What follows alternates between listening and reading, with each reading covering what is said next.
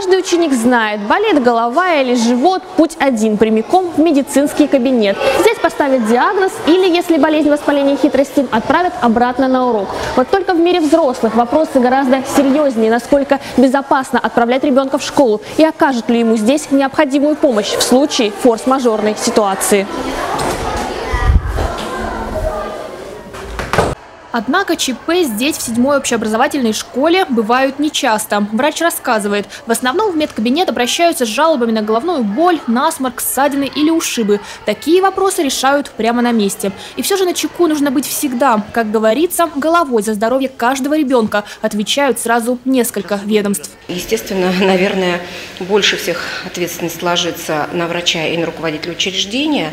Но а, по результатам каждого происшествия проводится а, служебное расследование обследования в школе и э, выясняется причина случая. Ну, естественно, сначала ребенку оказывается первая медицинская помощь. Документально работа медицинского кабинета основана на договоре между школой и поликлиникой. В соответствии с этой бумагой помещение и оборудование передается медицинским учреждениям образовательному в безвозмездное пользование. Перед вводом в эксплуатацию все кабинеты проходят тщательную проверку. Департамент здравоохранения совместно с департаментом образования э, активно занимался лицензированием каждого кабинета, чтобы соответствовал порядкам оказания медицинской помощи.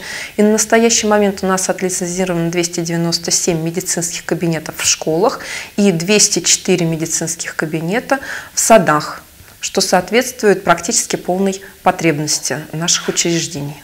Кирилл Ивкин учится в восьмом классе. В медицинском кабинете гость нечастый. Однако в случае недомогания, рассказывает юноша, протаренной дорожкой идет именно сюда. Сначала меряют давление, потом э, дают таблетки, если это нужно. А потом, если сильно, сильная головная боль, отпускают домой. Ну, насколько хорошо тебе оказываются услуги? Давай так, сформулируем. Ну, если по десятибальной шкале, то 9 из 10. Медперсонал здесь привык ко всякому, симулянтов хватает. Вот только если ребенку действительно требуется медицинская помощь, первым делом хватаются не за шприц с лекарством, а за телефон. Обязательно звоним родителям.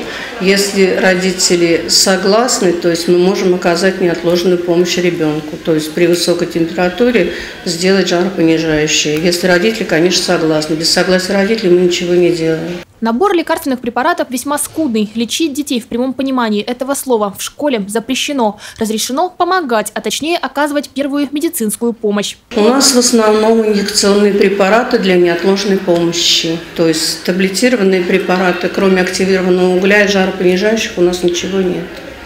А Мы не имеем права ими пользоваться. Основной проблемой в данной системе остается кадровый вопрос. По информации департамента, на тысячу учащихся необходим один врач, на 500 по одному фельдшеру или медсестре. Всего в медицинских кабинетах образовательных учреждений региона на данный момент работает 827 сотрудников. Не хватает как минимум 80. Как говорят в департаменте, за прошедшую неделю текущего учебного года никаких ЧП в школах не происходило. Остается надеяться, что последующие 9 месяцев пройдут также спокойно. Полина Панасицкая, Андрей Семиволков, РТВ Иванова.